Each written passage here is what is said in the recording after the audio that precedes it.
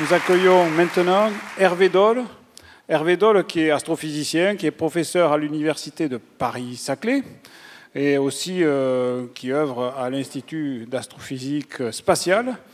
Donc, euh, il va vous en, vous en, dire deux mots certainement, parce qu'astrophysique spatiale, c'est de l'astrophysique, mais qui se passe avec des instruments euh, qui ne sont pas au sol, qui sont au-dessus de l'atmosphère. Et sa conférence va sans doute compléter une conférence qui a eu euh, lieu hier sur euh, l'énergie sombre, l'énergie noire. Alors là, il va vous parler de tout ce qui est euh, noir dans l'univers. Et il y en a beaucoup, puisqu'en fait, si j'ai bien compris, à peu près 5% de ce qu'on voit, donc la lumière, c'est 5%. Tout, le reste, c'est noir. Donc ça va être de la matière noire, ça va être de l'énergie sombre, ça va être des concepts compliqués. Des... Mais, mais, non, mais il va les simplifier. et euh, donc, euh, en fait, avec sa conférence, il va vous faire un tour d'horizon de l'univers. C'est ambitieux, il n'a qu'une heure pour ça. Donc, euh, je vous demande de bien l'encourager parce que c'est difficile, mais vous allez voir, c'est extraordinaire comme histoire. Je vous laisse en compagnie d'Hervé Dole. Merci Philippe.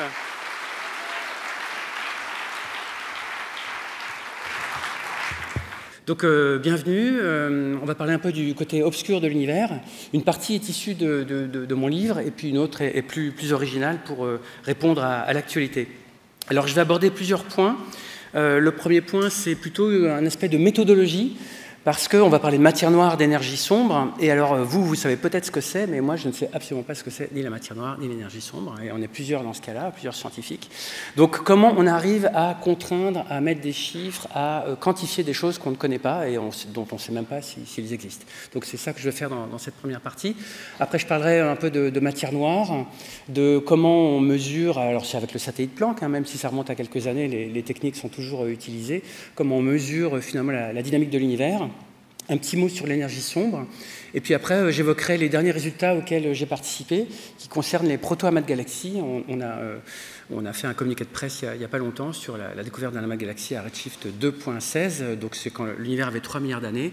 Et comme c'est un sujet qui, m'amuse, hein, voilà, donc je, me suis dit que j'allais vous en faire profiter aussi un petit peu. Puis je finirai par quelques perspectives avec James Webb Space Telescope qui est lancé le 18 décembre, samedi 18 décembre, prévu actuellement. On fera un grand événement à l'université Paris-Saclay public. Donc si vous êtes dans, les parages, vous serez les bienvenus. On n'a pas encore tout calé. Mais... Et puis Euclide. Et puis je, conclurai. Alors, la question que j'aime bien poser, euh, c'est pourquoi la nuit est-elle noire Alors, euh, Philippe tout à l'heure disait tout, est noir, voilà, quasiment tout est noir. Alors, c'est vrai. Euh, alors, c'est presque vrai, en fait. j'aime bien cette question parce qu'elle permet, sous ces détours complètement naïfs, d'aborder des aspects extrêmement profonds de la dynamique de l'univers et de son histoire. Alors la nuit est noire évidemment parce que bon, bah, le Soleil est derrière la Terre, mais euh, vous connaissez peut-être ce calcul, hein, je, raconte ça souvent dans mes conférences. Si vous prenez toutes les étoiles qu'on voit dans le ciel euh, la nuit, bon, bah, il y a des étoiles et puis il y a des trous parce que voilà, le ciel n'est pas constellé d'étoiles. Mais enfin, si on réfléchit un petit peu plus, on sait qu'il y a beaucoup plus d'étoiles que celles que nos yeux voient dans la nuit. Euh, il y a beaucoup de galaxies qui elles-mêmes contiennent beaucoup d'étoiles. Donc une hypothèse pas complètement irréaliste consisterait à dire que si on trace une ligne de visée fictive dans n'importe n'importe quelle direction, à un moment, on va peut-être tomber sur euh, une étoile. Auquel cas, si on fait le calcul un peu plus précisément, le ciel devrait être complètement brillant parce qu'il y aurait un fond, un tapis d'étoiles, et donc euh, il devrait faire en plein jour, en pleine nuit. Voilà, c'est pas le cas. Donc ça veut dire soit que les observations sont mauvaises, soit que le modèle est faux. Le modèle, c'est-à-dire cette idée qu'il y ait plein d'étoiles partout, euh, soit les deux, soit voilà. Alors en pratique, c'est un peu des deux. Vous allez voir. Euh, effectivement, la nuit est noire pour nos yeux, ça c'est indéniable. Donc l'observation est réelle, mais en fait, si on se concentre sur le domaine visible, c'est un petit peu restrictif. C'est ce qu'on va voir dans, un instant. Euh, l'analogie que je donne ici, c'est euh, Lison Bernet qui a fait ce dessin pour le, magazine PSIT de, l'Université Paris-Saclay que, vous pouvez retrouver en ligne, de, vulgarisation scientifique. Euh, on résout ce problème depuis, depuis typiquement le 19e siècle. Par plusieurs constats. Le premier, c'est Lord Kelvin qui l'a démontré, et puis Edgar Allan Poe en 1848 qui l'a intuité, c'est que la, durée de vie des étoiles, enfin, il y a une durée de vie des étoiles, la durée de vie des étoiles est finie, et la vitesse de la lumière est finie. Ça, on le sait depuis le XVIIe siècle. Donc, si vous combinez ces aspects, le fait que la lumière mette du temps à nous parvenir, ça crée un décalage. Donc, vous pouvez avoir des, des milliards d'étoiles, tous ne rayonneront pas en même temps. Il y aura un décalage temporel en fonction de leur distance. Et puis le fait qu'elles aient une durée de vie limitée fait aussi que ben, le, bain, la baignoire de lumière, enfin la baignoire qui, pourrait correspondre à l'univers, ne se remplit jamais de lumière parce que ben, les étoiles ont une durée de vie finie. Donc c'est comme si vous mettez que des petits coups de robinet et pas un robinet continu pour remplir votre baignoire d'étoiles. Donc euh, en fait, voilà, il y, a ces deux aspects, plus d'autres, hein, mais enfin, réussissent essentiellement à expliquer pourquoi la nuit est noire. Des étoiles d'une durée, durée de vie finie, un nombre pas si important que ça euh, finalement. Euh, et puis voilà, tout va bien, donc la nuit est noire, euh, tout, tout marche bien, c'est formidable. Alors dans les années quand même, dans les années 1920, vous le savez certainement, l'expansion de l'univers a été découverte, en tout cas le fait que les galaxies s'éloignent, et donc ça a été interprété dans le cadre notamment de la relativité générale avec, avec l'abbé Lemaître, Edwin Hubble, etc. Donc on, arrive maintenant dans un euh, paradigme différent, enfin depuis, un siècle hein, en fait, euh, où l'univers est en expansion. Donc c'est formidable, ça ne change pas la nuit noire, en fait ça pourrait quand même la changer, parce que euh, la nuit noire, on est d'accord, ça, ça ne change pas. mais dans un univers en expansion, la lumière se dilue, l'univers se refroidit, hein, c'est la physique qui vous dit ça. Mais si vous remontez le film à l'envers, donc vers le Big Bang, ce qu'on appelle maintenant le Big Bang, euh, ben vous vous dites que l'univers était euh, plus petit, entre guillemets, et donc à un moment ben, arrive où ben, tout, est regroupé, et donc là, il doit, y avoir plein de lumière, il doit faire très chaud, très dense, plein de lumière. Et donc, il est euh, probable que dans le passé, la nuit n'ait pas été noire, l'univers était complètement illuminé parce qu'il faisait très chaud, un peu comme aujourd'hui au centre d'une étoile, en fait même bien plus chaud. Et donc, les gens dans les années 60, ont commencé à chercher ce résidu lumineux du Big Bang, qu'on appelle le fond cosmologique ou la lumière fossile, ou CMB, un Cosmic Microwave Background en anglais, pour quelque part pas prouver une théorie, hein. vous savez peut-être qu'on ne peut pas prouver une théorie, en revanche on peut montrer que euh, ces prédictions sont euh, euh, observées et donc ça encourage et ça conforte cette théorie même si on ne peut pas la prouver. Alors, il se trouve que ce n'est pas eux qui avaient euh, connaissance de ces prédictions, c'est euh, Arno Penzias et Bob Wilson, dans les 60s, dans le New Jersey, euh, aux États-Unis. Ils avaient l'un des meilleurs, enfin, le meilleur radiotélescope de l'époque, enfin, surtout le détecteur le plus, le plus sensible, refroidi à l'hélium liquide, parce que c'était chez les Bell Labs, avec cette, en fait, c'est un, une antenne qui servait à communiquer avec les satellites en orbite basse. Hein. En 64, il n'y avait pas encore de, de satellites géostationnaires, donc il fallait suivre les, les satellites lorsqu'ils passaient au-dessus pour faire des communication intercontinentale. Et puis, vous connaissez peut-être l'histoire, ils ont observé le ciel dans les ondes radio. Et puis, ils avaient un excès de signal qu'ils n'arrivaient pas à comprendre. Alors, ils ont refait la manip plusieurs fois. Ils ont envoyé des, des, des, gens nettoyer le, le, radiotélescope, qu'est-ce qu'on voit en haut, parce qu'il y avait des, nids de pigeons. Et ils se sont dit, c'est ballot si on a découvert, euh, si on a découvert l'émission micro-ondes défiante de pigeons et pas un, nouveau signal cosmologique. Donc, euh, avant de publier, euh, voilà, c'est l'anti-raout. Hein, ils font d'abord, ils vérifient avant d'abord et ils publient après, si vous voulez. Hein, voilà. Donc. La science, c'est un peu comme ça que ça doit se faire. Vous allez voir, je vais vous donner un autre exemple, comme quoi la science, il y a quand même une, bonne méthodologie, normalement. Donc ils ont tout nettoyé, ils ont observé six mois après, parce qu'ils se sont dit, il y a peut-être un truc autour de la Terre qu'on ne connaît pas, etc. Donc en six mois, la Terre fait un demi-tour, donc ils, toujours pareil. Donc ils ont, découvert un signal, et ce signal, c'était le fond cosmologique, euh, auquel ils ne s'attendaient pas. Et donc, euh, dans deux articles célèbres, alors je ne vous demande pas de le lire, hein, mais, vous, aurez les références avec les, diapositives, euh, la science quand même, euh, c'est beau, parfois, voire souvent. À gauche, vous avez donc le Astrophysical Journal de 1965, signé par Arno Penzas et Bob Wilson. Le titre, c'est tout simplement une mesure d'une température, enfin d'un signal à, voilà, 4, à 4, voilà, 4000 mégacycles par seconde. Et ils disent, ben nous, on a juste mesuré un truc, voilà, euh, qui est une mesure ultra précise. Hein. et ils disent en haut, en rouge, ben en fait, euh, une explication possible pour, euh, pour ce signal, eh ben, c'est celle qui est donnée par Dick, Peebles, Roll et Wilkinson dans le papier qui est à côté. Circulé, il n'y a rien à voir. Donc, ils, publient leurs mesures et ils disent ben, l'interprétation, vous voyez à côté. La petite histoire raconte qu'en fait, Penzias et Wilson sont allés voir Dick, Peebles, et Wilkinson dans le labo d'à côté, à Princeton. Et ils leur ont dit, bah, écoutez les gars, on a un signal euh, qu'on n'arrive pas à comprendre, est-ce que vous auriez des idées? Alors tous ces gugus, ils deviennent tout bleus, parce qu'en fait, eux avaient la prédiction du modèle du Big Bang Show. Ils étaient en train de construire un petit radiotélescope pour découvrir, enfin pour mesurer cette prédiction. Et ils voient les deux gugus débarquer en disant Coucou, on a trouvé ce que vous cherchez, alors qu'on n'était même pas au courant de ce que vous cherchiez. Voilà, c'est un résumé, mais, mais vous voyez, la science euh, utilise des détours euh, parfois surprenants. Et donc, Dick, Peebles, Roll et Wilkinson, leur article s'appelle voilà, le rayonnement de, corps noirs cosmologiques, parce que voilà, ça s'appelle le rayonnement de corps noirs, ce, type de rayonnement qui était prévu par le Big Bang. Et puis ils disent dans les conclusions, eh ben, en fait, on pense que les mesures de Penzias et Wilson à gauche, donc j'ai les articles de droite, indiquent que la température de ce rayonnement, c'est 3,5 Kelvin, donc moins de 100, 110 degrés à peu près, donc ce qui était prévu par la théorie. Et surtout, vous voyez les enfin vous voyez peut-être pas, mais en bas, ce que j'ai mis en rouge, c'est les remerciements. À gauche, ils disent ben, on remercie euh, l'équipe de Dicky euh, pour euh, les discussions et les résultats avant et les résultats avant la publication. Ils sont allés se voir, ils se sont mis d'accord, ils ont interprété, ils se sont pas tirés la bourre, ils ont dit ok, bah moi je publie mes données et vous vous publiez euh, l'interprétation.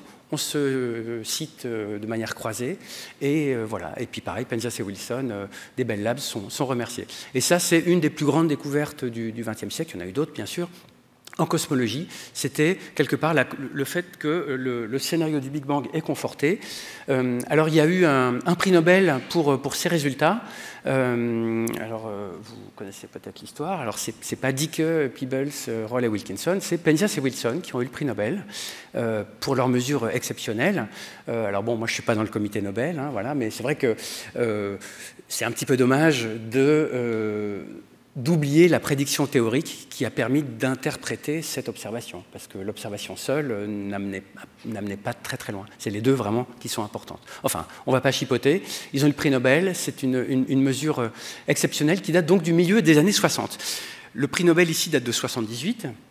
Donc c'est pas nouveau qu'il y ait un petit décalage avec la découverte. Et ce que je vais évoquer dans ces premières diapositives d'introduction, c'est les échelles de temps des domaines scientifiques. On a commencé euh, en fait bon, dans les années 40 hein, avec les premières prédictions de, de Gamow pour la température de l'univers, détection en 64-65, Nobel en 78, et puis dans la décennie 1990 euh, jusqu'à 2000, il y a eu des mesures de plus en plus précises. Alors au sol, d'abord, hein, je ne vous fais pas tout l'historique, on, pourrait y passer des heures avec des ballons, etc.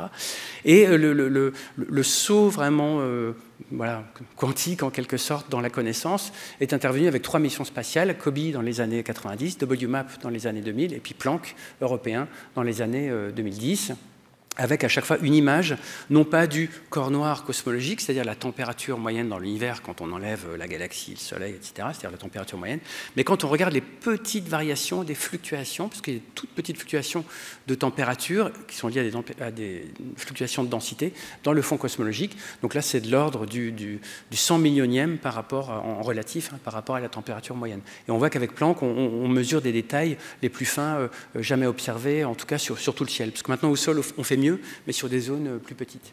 Alors, euh, on peut se dire euh, pourquoi WMAP et Planck ont 10 ans de décalage alors que tous les deux ont été des missions spatiales acceptées par leurs agences respectives en 1996. Je me rappelle, j'étais étudiant.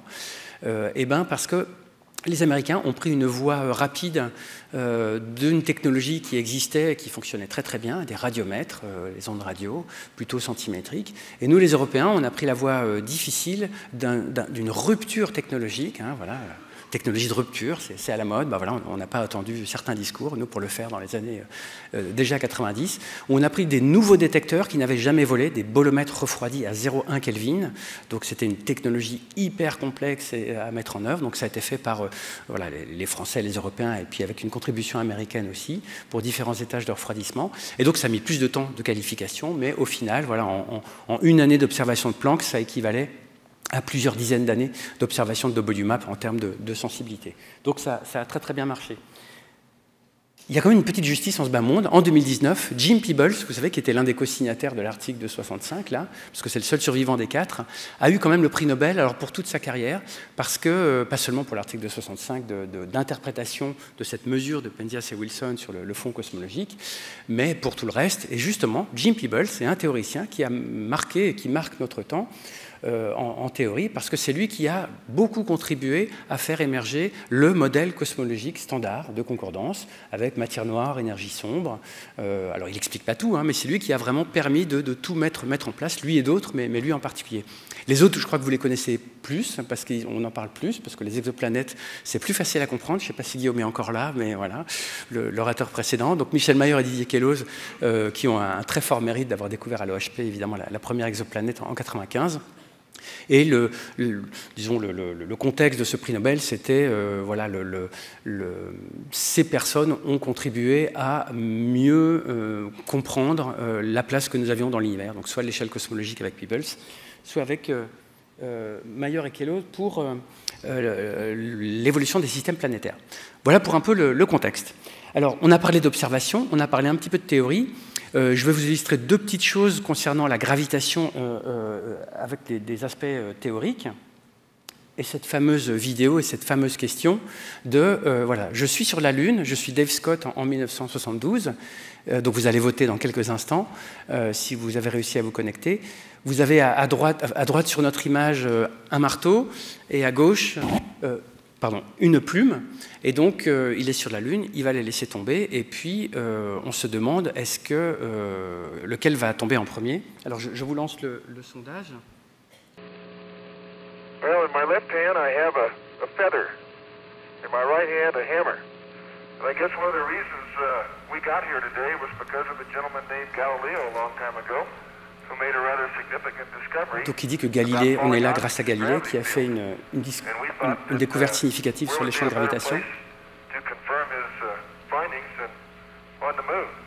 Donc ils vont essayer sur la Lune. On va essayer.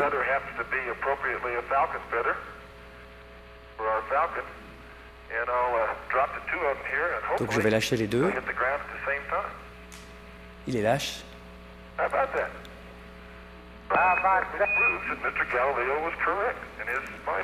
Galileo was correct. Donc Galilée avait raison. C'est heureux. Donc effectivement, les deux arrivent en même temps parce qu'il n'y a pas d'atmosphère. Donc la plume n'est pas euh, assujettie au frottement. Et comme le champ de gravité euh, voilà, attire euh, de manière indépendante de la masse, les deux tombent en même temps. Mes étudiants aussi défient la gravité voilà les vidéos qu'ils ont fait. Alors, on n'a pas la chance, nous, d'aller avec Thomas Pesquet dans, l'espace. Par contre, on a la chance d'avoir des étudiants euh, créatifs et des Playmobil. Et donc, euh, c'est eux qui ont fait tout ça dans, le cadre de mon option de, deuxième année. Donc, euh, voilà, si, vous connaissez des étudiants qui veulent faire de la, recherche et de la science sympa, bah, vous pouvez venir dans nos universités. Paris-Saclay, évidemment, mais enfin, toutes les universités sont bien. Et donc, ils ont mis une, GoPro. ils ont tout fait tout seuls, hein, ils se sont débrouillés, etc. Et euh, ça aussi, c'est prédit par la théorie. Voilà. Vous pouvez être en microgravité dans un champ gravitationnel, voilà, une des découvertes de, la relativité générale. Et on a fait ça en deux séances hein, avec eux. Bon, alors le mouvement n'est pas hyper parabolique, hyper contrôlé, mais bon, voilà, vous voyez l'idée. Et donc je leur faisais calculer, voilà, quand est-ce que c'est possible. Donc on, peut être en microgravité même en montée. Hein. Il suffit juste d'avoir la bonne trajectoire. Il suffit que la réaction soit nulle. Donc ça aussi, c'est lié à la théorie, donc là c'est une mesure, euh, mais euh, elle, est interprétable dans le cadre d'une théorie de la gravitation. Et ça, c'est comment ils l'ont fait, tout simplement. Voilà, ça c'était pendant l'option. Donc papier, ciseaux, réflexion, tableau noir. Alors il y, a eu beaucoup d'essais, il y a eu un peu de casse, mais voilà. Donc c'était ça le principe. Hein. Vous êtes en microgravité quand vous faites votre parabole. Alors le résumé de ces aspects observationnels, mesures et théorie, c'est Gottlieb et Jim Peebles qui le donnent. Je vois qu'il y a des amateurs dans la salle. Alors j'ai pris l'article de Peebles de 2015 alors je vais vous le traduire vite fait. Hein. En gros, il explique le côté itératif de la science, parce que ce qu'on apprend au collège et au lycée, et même à l'université, euh, parce que bon, bah, faut bien commencer quelque part. C'est voilà, il y a la science, il y a la théorie, tout est carré et tout. En fait, pas du tout. Enfin, il y a des choses qui sont carrées évidemment avec les connaissances, mais quand on est en plein développement, il y a vraiment des itérations c'est pas de la patouille, c'est pas de l'amateurisme, ce sont des itérations avec une méthode très claire. Alors Peebles, donc prix Nobel quand même, hein, il dit, ben, on, fait des, progrès, des, avancées, avec d'abord des idées. Donc des idées, ça peut être des hypothèses, des intuitions, voilà, des choses comme ça. Et ensuite par des mesures. Donc effectivement, les mesures doivent corroborer les idées ou les hypothèses qu'on a. Et ensuite, ces idées et ces mesures, elles inspirent et elles attaquent euh, euh, d'autres idées parce qu'il ne s'agit pas de dire que tout va bien, il faut aussi défier et démonter certaines autres hypothèses. Et puis, un processus euh, répété et des, évaluations euh, systématiques, avec aussi des approximations, parce que voilà, si, on avait une équation euh, pour tout l'univers, ça serait formidable, mais enfin, ce n'est pas le cas. Et tout ça, avec ce, processus très long, ces approximations, ces checks, etc., arrive, quelques-unes d'entre elles, à des théories. Et ensuite, quand ces théories sont testées intensément, elles arrivent enfin, elles sont qualifiées pour rentrer dans ce qu'on appelle la science canonique ou la science voilà, consensuelle. Donc euh, on, le voit avec euh, bah, les histoires de climat, etc., de, virus et tout. On voit que selon la, maturité de, l'étude ou du problème scientifique qui est posé, ou social, hein, parce que les sciences sociales font évidemment partie de la, démarche de la science, donc sociologie, histoire, etc., fait aussi partie de la science, même si les méthodes peuvent euh, différer un tout petit peu, mais c'est quand même une démarche scientifique. On voit qu'il y a des aspects vraiment euh, itératifs et que c'est pas voilà, tout, top-down et tout, tout, tout dessiné d'un coup. Je pense que vous le saviez, mais j'aime bien euh, citer Peebles parce que voilà, ça fait classe et puis c'est quelqu'un de très bien. On finit sur l'introduction. L'ambition qu'on a vraiment en science, c'est d'avoir une description vraiment la plus unitaire possible, la plus unique de, euh, de l'univers, avec euh, un seul type d'équation. Donc euh, je vais faire en moins bien ce qu'a fait Guillaume juste avant, si vous étiez à sa conférence, du, du, pendule. Alors moi, je ne vais pas parler de résonance, je vais juste parler d'oscillation. L'image à gauche, c'est le Soleil aujourd'hui, pris par un astronome amateur à Orsay. À droite, c'est l'univers dans son ensemble, c'est le fond cosmologique, donc vu, l'univers vu lorsqu'il avait à peu près 370 000 ans, 380 000 ans. Et en fait, la physique des deux objets physiques se ressemblent énormément, même si la taille, la composition n'est pas la même. Le Soleil, c'est une boule de gaz chaud qui oscille euh, à sa surface, qui oscille par des processus d'excitation de, interne. Et, puis à droite, le fond cosmologique, enfin l'univers tel qu'il est pris ici en photo euh, au moment du fond cosmologique, de la recombinaison et de la, voilà, la recombinaison est un plasma aussi oscillant avec des forces de rappel qui euh, impliquent la matière noire et, la matière baryonique. Donc la, composition est, différente, mais, le, le, principe est la même. Et le principe, donc si je peux prendre le micro de deux secondes, le micro volant, voilà, le, principe, c'est euh, que ces oscillations que nous voyons dans le Soleil et dans le fond cosmologique obéissent à la même équation que ce pendule, hein, l'oscillateur harmonique. Donc c'est une équation différentielle euh, toute simple qui euh, a pour solution, ceux qui connaissent des, cosinus ou des sinus, voilà, ce, pendule a été modélisé par Galilée dans les années 1610 à peu près. Et ben, c'est cette même équation physique toute simple qui régit les oscillations du Soleil et celles du fond cosmologique. J'aime bien cette analogie que, que je répète fréquemment. je vais revenir sur le, micro principal, parce qu'en physique, on aime bien avoir une description vraiment euh, simplifiée. Hein. c'est un modèle. Vous savez qu'un modèle, c'est une description simplifiée de la réalité qui recouvre des phénomènes euh, différents, mais qui ont une, physique sous-jacente euh, qui se ressemble. Donc les oscillations, qu'il s'agisse de l'univers primordial, du Soleil ou du petit pendule, finalement, c'est la même équation. Donc c'est ça qu'on aime bien en physique. Donc on souhaite comprendre la structure, l'évolution et les lois physiques fondamentales qui régissent l'univers, ses constituants, de même qu'on peut utiliser l'univers comme grand laboratoire pour découvrir des phénomènes. Alors parlons quand même un peu de, choses noires. Euh, euh, voilà, on va commencer par ce qu'on voit, les galaxies. Euh, on sera tout de suite à, grande échelle. Donc j'aime beaucoup cette image de, la galerie de, galaxies observée par le, satellite Spitzer, sur lequel je travaillais quand, je travaillais à la NASA il y a quelques années avant de revenir à, Orsay. Et donc, on, a tout un bestiaire avec tout, un tas de formes de galaxies. Donc, on, essaie de comprendre, et, on, y arrive pour l'essentiel, à comprendre comment les, galaxies évoluent, pourquoi elles ont cette forme, euh, pourquoi elles ont ces couleurs, même si ici, ce sont des, couleurs infrarouges euh, qu'on pourrait changer dans, le visible. Néanmoins, euh, il faut être prudent à chaque fois parce que nos observations nous biaisent. C'est-à-dire que on fait des observations les plus précises possibles, les plus fines, les plus tout ce que vous voulez, avec des super moyens. Néanmoins, les observations nous limitent dans euh, nos interprétations. Et j'aime bien donner cet exemple que je, crois tout le monde peut comprendre. D'ailleurs, je crois que j'ai euh, peut-être même une, question. Voilà ce qui se posait comme question aux militaires américains durant la, Deuxième Guerre mondiale. Ils avaient des avions dont ils devaient optimiser le poids. Euh, donc, ils voulaient les blinder, les protéger beaucoup mieux et donc ils voulaient rajouter des blindages. Mais si vous rajoutez du blindage, il faut en enlever ailleurs. Donc c'est ce qu'on appelle un processus d'optimisation. On ne peut pas en rajouter partout, sinon c'est plus, plus, efficace. Donc ils ont fait une étude statistique euh, sur les, avions, avec, euh, c'est un dessin hein, illustratif, euh, sur les impacts que recevaient les, avions. Donc ils ont donné ça à un mathématicien, ils ont quand même fait appel à des mathématiciens, puisque pour eux l'idée était assez claire. Hein, voilà, on, met les, blindages là où, il y a des, là où les, avions sont touchés, et donc, il est, arrivé donc Abraham Wald, ce, mathématicien, qui a regardé ce problème et qui est arrivé à une conclusion, conclusion pour le moins inattendue.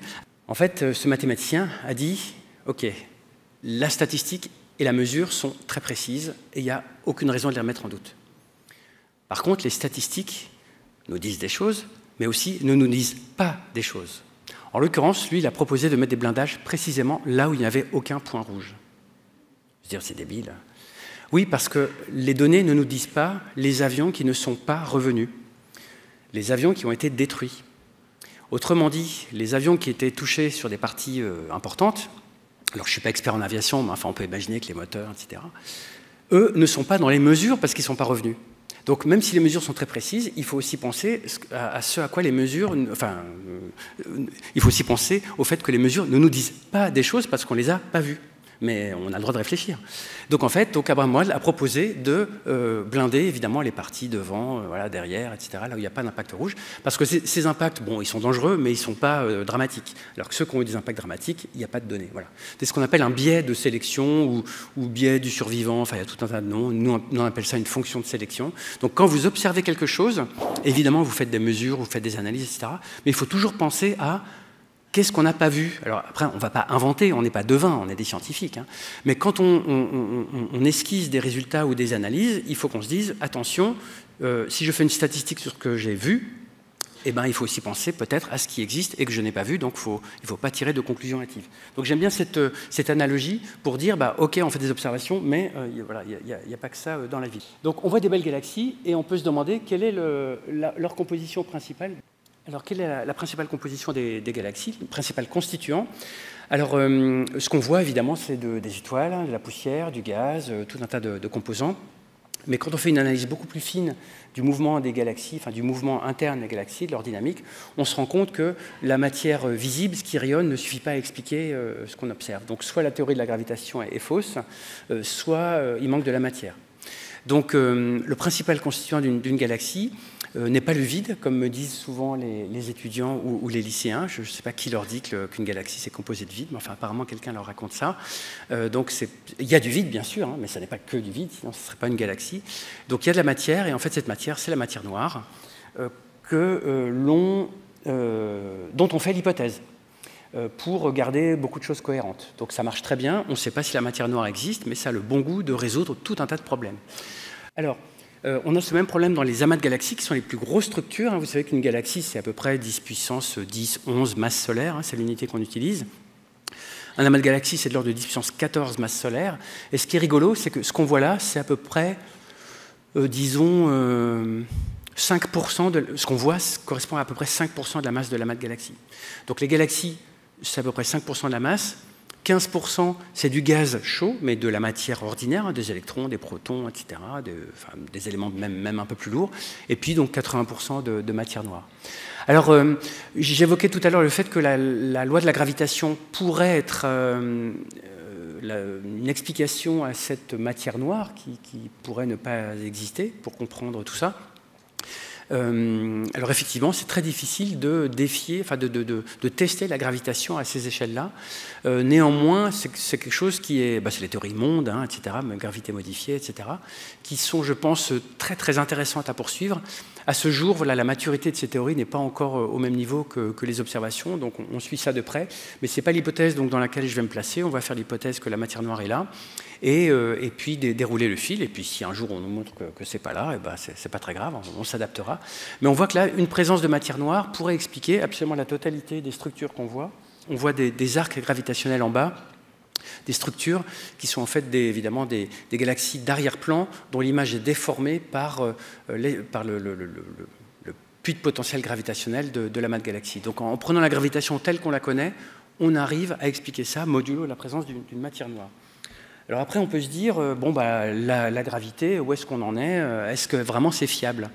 Alors euh, la gravité, en tout cas dans certains domaines de, régime assez forts, fonctionne plutôt bien. en témoigne la détection des ondes gravitationnelles depuis, quelques années. Là, on en est à plusieurs dizaines, quasi une centaine avec la dernière euh, release de, données. Donc euh, c'est le tableau de chasse en fait des ondes gravitationnelles par euh, LIGO aux États-Unis, Virgo en, Europe, et puis donc Cagra récemment au Japon. Et à chaque fois, vous avez euh, euh, euh, les parents, donc souvent des trous noirs et des étoiles à neutrons, et puis la descendance de, ce que ça a formé, et puis la différence de masse, ce sont des ondes gravitationnelles. Donc l'énergie de, masse a été dispersée dans l'univers sous forme d'ondes gravitationnelles, et c'est ce qu'on mesure. Ça a évidemment donné lieu à un prix Nobel. Donc voici deux exemples. en haut à gauche, vous aviez deux trous noirs, petits, d'ailleurs, ce qui pose aussi d'autres problèmes, hein, les trous noirs de masse intermédiaire, de 40 et de 23 masses solaires en haut, qui ont fusionné. Euh, si vous faites la somme, ça fait 63 masses solaires. Et eh ben, euh, manque de chance, la masse finale du trou noir, c'est 61 masses solaires. Donc il y a l'équivalent de deux masses solaires. Vous imaginez deux soleils. Nous, on a un soleil. Donc là, il y en a deux pouf qui partent, voilà, qui sont euh, dilapidés dans l'univers sous forme d'ondes gravitationnelles qu'on détecte. L'autre cas est voilà, 31 masses solaires pour un trou noir. 1,2 pour une étoile à neutrons, c'est une différente couleur, ils ont codé ça pour dire que c'est une étoile à neutrons, donc ça devrait faire 32,2. Et donc là, il y a euh, donc 0,2 euh, masses solaires qui se sont euh, dispersées dans l'univers. Donc la gravitation, malgré tous les problèmes, il y a des choses qui, fonctionnent vraiment aux petits oignons. Ça marche très très bien. C'était prédit pendant des décennies, voilà, et ça a été détecté récemment. Il y a aussi le trou noir central de notre galaxie. Voici un time-lapse d'une quinzaine d'années qui a donné lieu aussi à des prix Nobel récemment euh, où, alors on ne voit pas le trou noir au centre, mais on voit le mouvement des étoiles, je crois que c'est mis trois fois de suite, on voit qu'au centre, les étoiles parfois rebroussent chemin, etc., bah, parce que quand vous avez une masse très très forte, vous pouvez avoir tout un tas d'interactions gravitationnelles qui prouvent la présence euh, d'un trou noir euh, au centre. Donc là aussi, la gravitation, bah, on a l'impression de comprendre un peu comment ça marche. Donc, donc voilà, et puis, dernière image d'un trou noir. Alors, c'est dans le thème obscur aussi, hein, même si là, c'est du, baryonique, hein, de la matière ordinaire. Cette fameuse image qui est très, très belle du premier trou noir observé de manière très précise il y a, il y a deux ans à peu près, dans la galaxie euh, M87. Donc ce qu'on voit, c'est l'environnement du trou noir dans les ondes millimétriques. Hein. C'était pris par un télescope qui a la taille de la Terre. En fait, c'est plusieurs télescopes dont on a combiné les, données, y compris le télescope franco-germano-espagnol de l'IRAM, hein, Pico Veleta, euh, à Granada. Euh, pour laquelle la France est participante.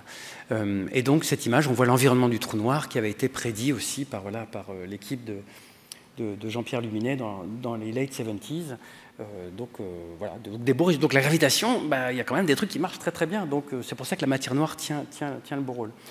D'un point de vue plus, disons, de société, les, gens du, MIT qui, ont participé à, l'analyse ont, publié ce, ce, ce, post au moment de la publication de l'image en disant, bah voilà, les filles en sciences euh, font du bon boulot, parce qu'effectivement, euh, il faut le dire, hein, les filles sont meilleures dans le système universitaire, même dans le système scolaire, que les garçons. Donc je ne sais pas s'il y a des filles ou des étudiantes. Euh, voilà, ne, vous censurez pas, les filles sont meilleures à l'université. Mais effectivement, dans certains domaines, peut-être en, nombre moins, grand, et réciproquement dans d'autres disciplines qui sont, qui, qui sont genrées, disons. Et donc, euh, ce poste avait pour objet de dire, ben voilà, les filles font aussi du bon boulot, et tant mieux, et euh, il n'y a, aucune question sur leurs compétences. Donc, en 1969, Margaret Hamilton a, dirigé l'équipe qui a codé euh, le logiciel de bord du LEM, hein, du module lunaire d'Apollo. Donc, à l'époque, c'était le, print de toutes les lignes de code. Et puis là, Cathy Bouman, qui est une, jeune collègue, qui elle aussi a participé à l'écriture du, logiciel et de l'analyse des terabytes de données. Donc là, on la voit en photo avec les, les disques durs, avec les données de M87 étoiles. Donc voilà pour la, partie théorique, la gravitation à l'air de marcher. On a besoin de matière noire. Maintenant, comment on fait pour aller un peu plus dans les détails? Donc il faut pousser la théorie et il faut pousser les mesures. Il y a une petite vidéo qui montre le lancement du satellite Planck. Ça, c'est la séquence Madeleine, euh, voilà, nostalgie. Parce que j'ai participé à Planck et un petit peu à Herschel. Donc normalement, le 18 décembre, on verra quelque chose de similaire pour euh, James Webb Space Telescope avec euh, autant de succès, euh, nous l'espérons tous. Donc l'image du lancement de, Planck et Herschel. Maintenant, ce sont des animations. Donc euh, vous éjectez les, étages d'accélération à poudre, vous sortez de l'atmosphère, vous enlevez les coiffes. Donc c'est pour ça que mon labo s'appelle astrophysique spatiale, parce qu'on fait du spatial. Donc vous lâchez Herschel, donc voilà, mission accomplie pour, pour Herschel. Vous vous décalez pour ne euh, voilà, pas foncer dedans. Vous éjectez le SILDA, système lancement double Ariane. Donc pour JWST, il n'y aura qu'un seul passager, hein. mais pour Planck Herschel, il y en avait deux. Vous vous redécalez, vous mettez en rotation, et puis vous lâchez Planck, voilà, qui a été sur la très bonne orbite. Donc tout s'est très bien passé. Et puis, donc, vous allez au point de Lagrange L2 hein, du système Terre-Soleil. donc, vous, vous, dépassez la Lune. En 8 heures, on a dépassé la Lune. Vous mettez à 4 fois la distance Terre-Lune. Et puis, vous observez tranquillement dans les ondes millimétriques le ciel, parce que c'est dans ces longueurs d'onde-là que le fond cosmologique est le plus euh, facilement détectable.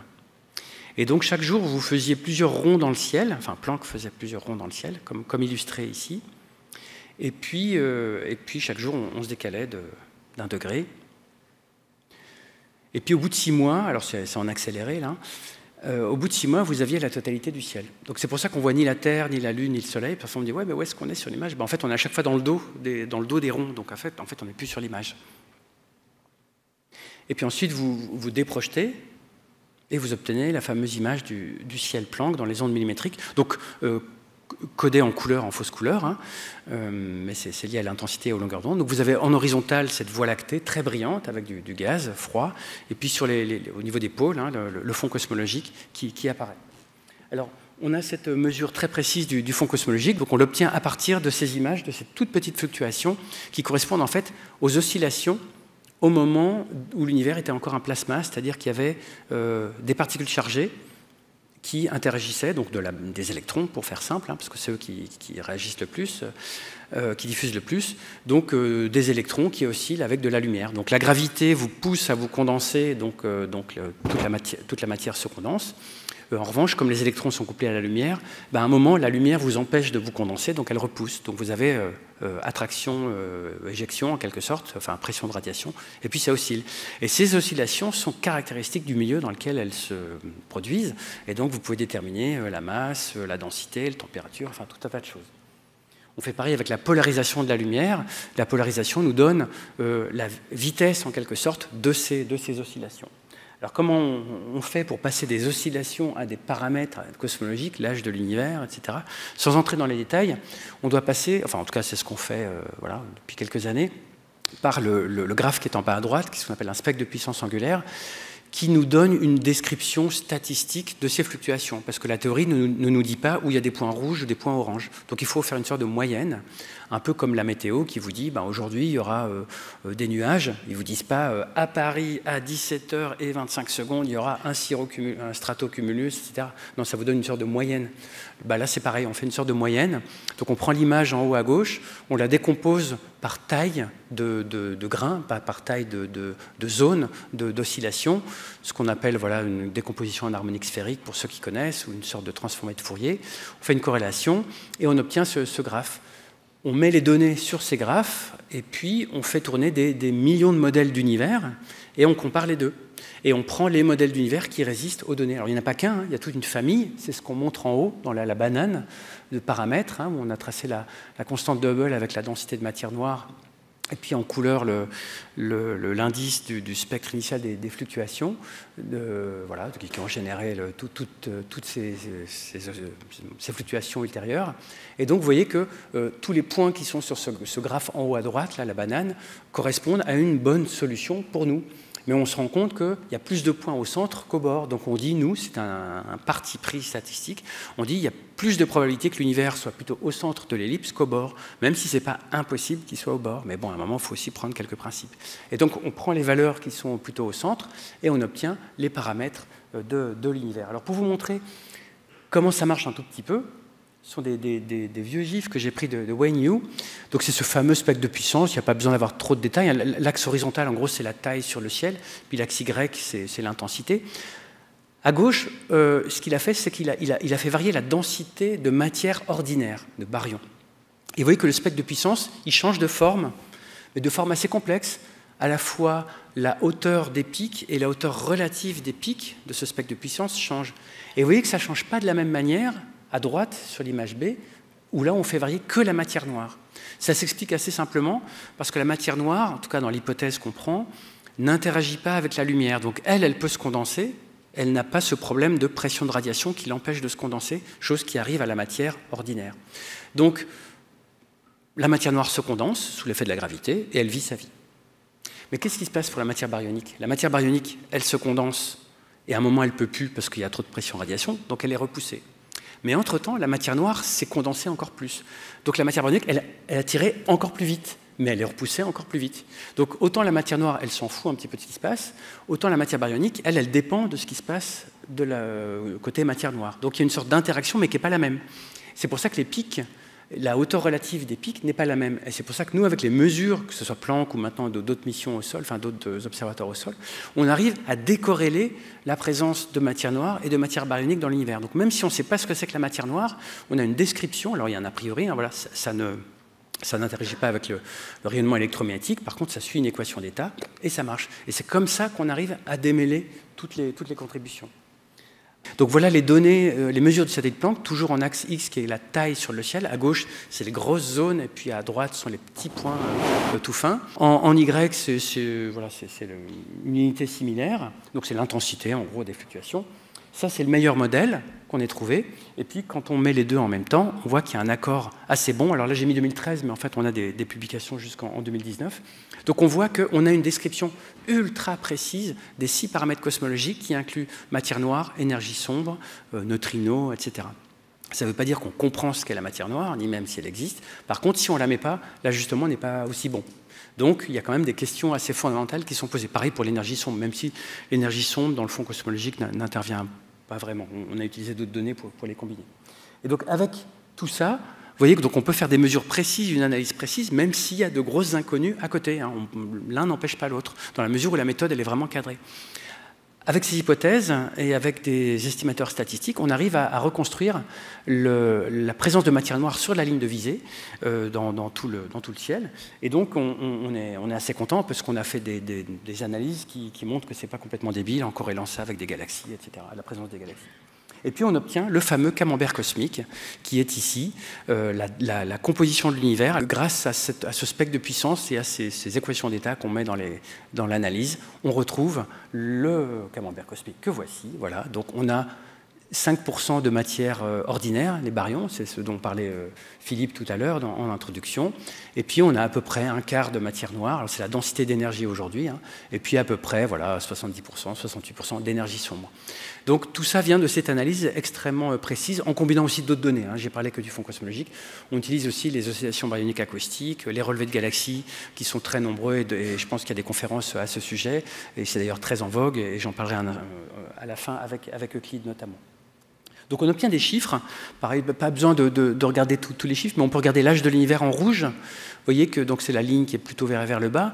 Euh, selon comment on prend voilà, les, données et l'analyse, on a un âge qui est de l'ordre de 13,8 milliards d'années, avec une précision du diable, 0,15%. Hein, dans l'histoire de l'humanité, on n'a jamais atteint un âge aussi précis.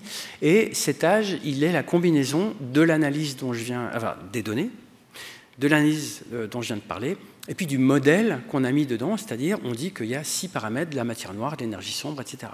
Si, je ne sais pas, demain, vous avez une théorie absolument extraordinaire qui va révolutionner le monde, bah, vous pouvez venir, brancher votre modèle sur les données et sur le type d'analyse, et puis vous aurez vos paramètres cosmologiques. Euh, voilà. Après, il faudra aussi voir si les autres contraintes sont respectées. Mais voilà, voilà comment ça fonctionne. Donc on espère avoir de nouvelles données avec d'autres missions au sol, et peut-être dans quelques années dans l'espace avec les, prochaines missions qui sont en cours d'évaluation. Alors, euh, un petit mot sur l'énergie sombre. Alors moi, je suis un peu moins spécialiste. Euh, ça a été découvert à la fin des années 90, notamment par les équipes des trois, des trois prix Nobel 2011, euh, grâce aux supernovae, qui sont un peu des, des, des, des calibrateurs, voilà, une sorte de, lumière euh, un peu, un peu calibrée, qu'ils arrivent à calibrer avec différents phénomènes voilà, de, de période, luminosité. Et puis, grâce à ça, on peut avoir la luminosité intrinsèque de cette supernova. On compare la luminosité intrinsèque de la supernova avec la luminosité reçue, ce qui nous donne une, sorte de distance lumineuse, et on compare ça au redshift.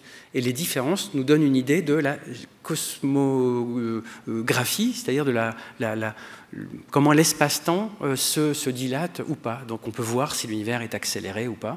Et donc c'est une méthode extrêmement efficace, euh, quoique difficile. Et voilà un des derniers résultats, enfin ça date d'il y a quelques années, enfin j'ai pris ça il y, a, trois ans. Donc en haut, vous avez cette différence entre la, on appelle ça des magnitudes hein, en, astrophysique, enfin en astronomie, c'est le, log de l'intensité, mais peu importe, entre euh, ce qui est estimé et puis ce qui est mesuré. Euh, donc vous avez une sorte de, voilà, une sorte de, droite. En, bas, vous avez le redshift, donc le, décalage cosmologique vers le rouge. Et puis en bas, vous avez le résidu, les points jaunes, c'est une moyenne. C'est le résidu par rapport au modèle cosmologique qui inclut de l'énergie sombre. Si vous n'avez pas d'énergie sombre, vous n'avez pas ça. Votre truc diverge, grave, voilà, ça ne marche pas. Donc c'est euh, euh, un type d'analyse qui nous permet de nous conforter dans l'idée qu'il y a une constante cosmologique, il y a une expansion accélérée. D'où elle vient Grande question, mais en tout cas, c'est assez bien caractérisé. Il y a aussi d'autres méthodes, hein, qui est la statistique sur les amas de galaxies, sur euh, les oscillations baryoniques acoustiques, hein, ce sont les corrélations des galaxies à très très grande échelle, et puis sur le, weak lensing, donc le lentillage gravitationnel faible, qui est extrêmement euh, puissant et dont de nombreux résultats commencent à sortir, mais j'en parlerai pas, euh, pas aujourd'hui. Et puis je vais finir par euh, mes recherches actuelles. Euh, donc on a parlé de matière noire, hein, composantes sombres, de trous noirs, c'est des choses qu'on ne voit pas mais qui sont des baryons. Voilà. Donc, euh, on n'appelle pas ça des composantes sombres même si on ne les voit pas. Et puis l'énergie sombre qui est en fait un, fluide cosmologique qui serait responsable de l'expansion accélérée de, de l'univers. Alors mes recherches, moi, concernent une sous-partie de tout ça, c'est comment essayer de voir la naissance des gros amas de galaxies que l'on observe aujourd'hui, dont on a une image euh, au milieu à gauche, avec des, amas de galaxies de 10 puissance 14 masses solaires ou des superstructures encore plus grandes, hein, celles dont parle Hélène Courtois, voilà, les, superstructures à 10 puissance 15 masses solaires. La théorie est très très claire là-dessus. Hein, les, galaxies se mettent en groupe et puis euh, ces groupes fusionnent et puis deviennent des amas de galaxies de plus en plus gros. Mais sauf qu'on l'a observé encore très difficilement. Alors nous, ce qu'on a fait, c'est qu'on... Donc il y a plein d'équipes dans le monde qui font ça, mais chacun un peu avec sa méthode. Et nous, on a pris le parti d'utiliser les, données du satellite Planck, non pas pour le fond cosmologique, mais pour la partie infrarouge très lointain, pour détecter des galaxies, un peu comme il y a en haut, des galaxies infrarouges, c'est-à-dire des galaxies qui forment beaucoup d'étoiles. Les étoiles qui naissent sont enrobées dans des cocons de poussière, donc on ne voit pas dans le domaine visible, mais on voit dans le domaine infrarouge. Et on en a observé plein, plein, plein. Euh, c'est cette image du satellite Planck en, bas, en gros, là, en rouge. C'est l'image du satellite Planck à 545 GHz, donc euh, quelques centaines de microns de longueur d'onde. Vraiment, là, on est dans le submillimétrique, l'infrarouge très lointain, avec la Voie lactée au milieu et puis, euh, et puis bah, le reste au-dessus. Et les petits points, ça fait partie des euh, quelques-uns des 2000 candidats proto-amas de galaxies. Hein, donc on appelle des proto-amas de galaxies. C'est précurseur de ce qui va devenir des, des amas de galaxies. Et puis avec Herschel, au même moment, parce que leur temps de vie était limité, on a réussi à avoir à peu près 200 observations avec Herschel beaucoup plus fines de ce que peut faire Planck. Planck avec tout le ciel, c'était formidable, on pouvait vraiment piocher dans, tout le ciel. Mais on ne pouvait pas voir précisément. Herschel, c'était l'inverse, on pouvait voir très très précisément. Donc on a eu l'intuition qu'on avait là peut-être des amas de galaxies dans lesquels les galaxies formaient mais intensément plein d'étoiles, et donc peut-être qu'on a euh, une forme de proto-amas de galaxies euh, euh, qui sont en train de naître. Et puis récemment, on a fait un communiqué de presse là, que vous pouvez retrouver sur euh, CNRS, l'Université Paris-Saclay, etc. J'ai écrit des, articles sur The Conversation euh, France euh, qui, qui, explicite un petit peu plus. On, a sorti cette image. Alors, si vous voyez un proto-amas de galaxie, vous êtes fort, hein, parce que voilà, c'est en fait c'est hyper dur à voir. même moi, je ne le vois pas. Donc, c'est l'image du, Subaru télescope notamment, et puis de, enfin, on a mélangé plein, plein de signaux, du Herschel, etc. Mais en gros, c'est un champ qui fait une dizaine de minutes, d'arc minutes de, côté à gauche. Et tous les petits symboles ronds, losanges, etc., ce sont des galaxies pour lesquelles on a, des redshifts. Ça nous a mis beaucoup de temps aussi, une dizaine d'années, parce qu'en fait on se faisait bouler par les télescopes, donc c'est pas parce qu'on est voilà, c'est pas parce qu'on est lent, c'est parce que quand on ne donne pas tant de télescopes, on n'y arrive pas. Mais heureusement, on en a eu avec Subaru, les collègues japonais, et puis américains au LBT, et donc on a obtenu les, les redshifts et les spectres de ces galaxies, et on a vu qu'ils étaient pile au même redshift, enfin quasiment au même redshift, on a deux sous-structures, et en comptabilisant la masse ce qui est très difficile à faire par ailleurs, mais bon, on, a des estimés. On extrapole ce que deviendra cet amas de galaxies, donc il est observé tel que l'univers avait 3 milliards d'années, donc redshift 2.16, au moment du pic de formation d'étoiles dans, l'univers. Et eh bien, si on extrapole la masse aujourd'hui, on se rend compte que cette proto-amas de galaxies, ce proto-amas de galaxies, qui s'appelle G237, deviendra aussi massif que l'amas de la Vierge, donc le super amas, donc un amas très très massif aujourd'hui. Donc on a l'impression d'avoir vu un précurseur euh, d'amas de galaxies, comme on les, voit aujourd'hui, avec beaucoup de, formations stellaires. Donc on était, assez contents. Et puis il nous en reste 1999, donc voilà, on a, de quoi faire. Alors les perspectives, parce que le, temps passe, euh, même si c'est très agréable en votre compagnie, j'espère que la réciproque est vraie. Donc on, a des perspectives, je vais en citer deux. c'est le Webb, le James Webb Space Telescope, qui va être lancé le, 18 décembre, en tout cas la date actuelle. Et donc, évidemment, ça va être une mission majeure. Euh, voilà, Pierre Guillard en a parlé hier, je crois. Euh, voilà, vous, voyez ça dans tous les médias. Euh, je crois qu'il y a un, numéro spécial de Ciel et Espace. voilà, donc il y a plein de belles choses. Moi, j'ai la chance, avec mes collègues d'Arizona, d'avoir un de mes amas qui sont dans le temps garanti. Donc, on, est hyper excités d'avoir avec NIRCAM. Voilà. Alors, j'ai fait des propositions, mais elles ont été boulées aussi. Donc, voilà, la recherche, c'est pas que des succès. Hein. Là, ça fait genre, voilà, tout marche, c'est formidable et tout. En fait, ce que je vous montre, il y a eu 90% de déchets, de déchets, c'est-à-dire de trucs qu'on, où ils n'ont pas donné le temps, où, où, j'ai pas eu d'ANR. Enfin voilà, la science, c'est pas que les bisounours. Hein. il y a aussi plein de trucs qui, merdent et tout. Donc, il faut savoir que c'est un milieu aussi euh, pas, hyper simple, mais enfin bon, on aime ça et, voilà. Donc, euh, donc, on a réussi à avoir du, temps sur le, James Webb Space Telescope. Et puis, euh, ce qui nous intéresse aussi en, Europe, parce que l'Europe a une forte contribution dans le James Webb, hein, en particulier le, CEA, mais, pas que. Euh, avec Euclid, qui va être lancé d'ici à peu près un an et demi, on va lancer la plus grande caméra jamais lancée pour l'imagerie, même si la plus grande caméra lancée, c'était Gaia, mais elle faisait aussi de la spectro. Et donc, on va mesurer euh, euh, bah, les distributions des galaxies, le weak lensing, la profondeur avec les redshifts, à la fois spectroscopique et photométrique. Et on va, avoir, on va faire des, donc des oscillations baryoniques acoustiques, du weak lensing, on va faire plein plein de choses. Ça va être extraordinaire. Et puis le télescope est vraiment réel parce que le voici. Il est, pris chez, Airbus ici, donc euh, voilà, euh, voilà, il est réel, il est bientôt prêt. Les instruments marchent, même s'il y a des petits soucis, ce qui est normal. Je crois que Marc Sauvage euh, en parlera demain, donc je, vous invite à, l'écouter. Et donc on est, on est tout excité. C'est pas un télescope immense, hein, il, est plus petit que Hubble, mais il va avoir une, qualité d'image comparable à celle de Hubble. Et surtout, on aura 15 000 degrés carrés, donc en fait, vous aurez à peu près la qualité de Hubble, mais là sur 15 000 degrés carrés, donc c'est à peu près tout le ciel extragalactique. Ça va être monstrueux, ça va être génial. Et puis donc les, instruments. Donc vous avez euh, NISP en haut, donc l'instrument plutôt français euh, dirigé par euh, les équipes du LAM de Marseille. Et puis à gauche, dans le noir, là, VIS, donc l'instrument visible, sous gestion britannique, mais qui est en grande partie fait en France, notamment au CEA, et puis aussi dans mon laboratoire à Orsay, avec une petite partie qui est, qui, est en bas à droite. Donc tout est prêt, voilà, on, attend le lancement avec impatience d'ici peu, puis les dernières revues. Et je vais conclure en disant que on a parlé de science, de, certaines parties obscures de l'univers, donc obscures soit parce qu'il n'y a pas de lumière, soit parce que conceptuellement elles sont également obscures. Hein, voilà, je pense que c'est assez obscur la matière noire et, l'énergie sombre, même si on arrive un peu à les, euh, circonscrire. Hein. Ce que je dis souvent pour l'équation d'état euh, de la matière noire ou de l'énergie sombre, c'est un peu comme l'air qui nous entoure. Hein. Personne n'a jamais vu de particules d'air, je pense, hein, dans sa vie. Par contre, si vous faites ça, que vous vous éventez, bah, vous sentez qu'il y a de l'air, vous savez que vous respirez, etc. On peut donner une température, une pression, une densité à l'air, même si on ne voit pas les particules hein, d'azote et d'oxygène. On fait pareil pour la matière noire et, l'énergie sombre. On ne les voit pas, on ne sait pas ce que c'est. Par contre, on peut macroscopiquement donner des euh, densités et des pressions, l'équivalent de densité et de pression. Et ça, ça permet de faire de la physique, même si on ne connaît pas la, nature de, la matière noire ou l'énergie sombre. Donc j'espère vous avoir convaincu que même s'il y a de grandes inconnues, qui sont réelles hein, et qui d'ailleurs peuvent poser des, problèmes plus, profonds, il y a quand même des, avancées significatives. Alors donc on fait de la science, mais ce faisant, on fait des belles images qui participent euh, de l'imaginaire euh, du public, puis de nous aussi. Hein. donc ces fameuses images du, télescope Hubble il y, a, quelques années, qu'on qui, retrouve un peu partout et qui euh, nous inspire, en tout cas moi, mais voilà, je pense qu'on est nombreux à être inspirés par ce genre d'images. A aussi ce, beau coucher de soleil. Alors, c'est évidemment pas de mes photos de vacances, mais c'est les couchers de soleil sur Mars, pris depuis Spirit il y a quelques années.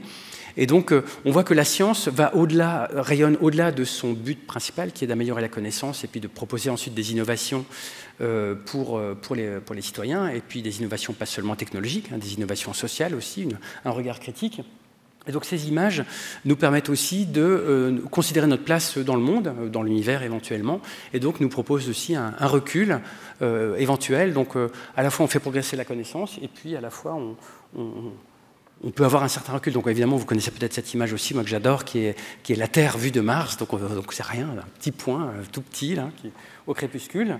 Il y a ces fameuses images de, la Lune qui, datent maintenant de, bah, bientôt 50 ans, prises par les, moonwalkers. Hein, voilà.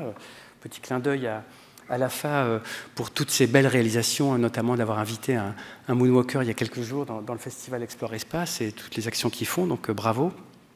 Et puis, j'espère que l'image du satellite Planck, du fond cosmologique, participe aussi de cet émerveillement, même si elle n'est pas super simple à comprendre, mais quelque part, elle nous dit, voilà, il y a un univers qui est intelligible, on ne comprend pas tout, mais, euh, euh, mais on y travaille.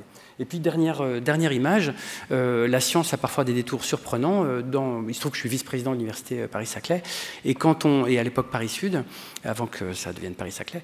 Et donc, on a accueilli des réfugiés il y a quelques années, parce que, voilà, parce que c'était, il, fallait, le faire, et c'était très bien. Et donc, quand les, réfugiés sont arrivés dans, nos gymnases, de, de l'université, donc des, des, Afghans, des Érythréens, des Soudanais, des Maliens, etc.